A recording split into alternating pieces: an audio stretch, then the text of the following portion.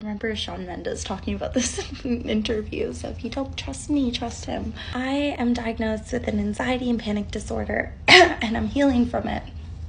And I've been healing from it for a long time now, probably five plus years. And these are some tools that I use to deal with my anxious thoughts. I say that I previously, for the past two plus years, was on Zoloft, and this has been pivotal in my journey with my anxiety. Another key part of my journey is learning mindfulness tools to literally deal with those thoughts when they arise and how to move through them or even just how to deal with them. And so, this is one thing that's helped me deal with them. This goes for any emotion or, thought attached to emotion, whether it's, you know, depression, like sadness, um, pain, anxiety, whatever it is whatever that thought is that's associated with that emotion, the goal is to just notice it and to feel it and to not make it mean something more than it is.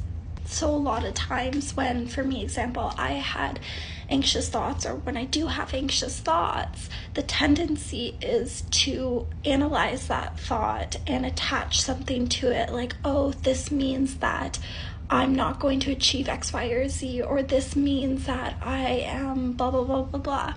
And the point is is to just be with that thought or feeling and to just notice it and to not amplify it, to just let it be what it is. And by just letting it be, this allows for it to flow through you and for you to process it. When we amplify it and we build up this anxious thought and we heighten it and make it mean so much, then it becomes more than what it is. And so, what's helped me is to just notice these thoughts and to allow them to be here and to tell myself like it's okay to feel these anxious thoughts and that it's normal and that I'm here for myself and that it's okay. Simply just telling yourself it's okay to think this and to feel this, this is normal.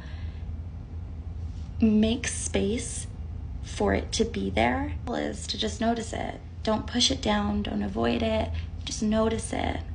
Let it be, let it move through, let it process, and then move on. Just thoughts don't have to be our truth, they're just thoughts. And I hope this helps you.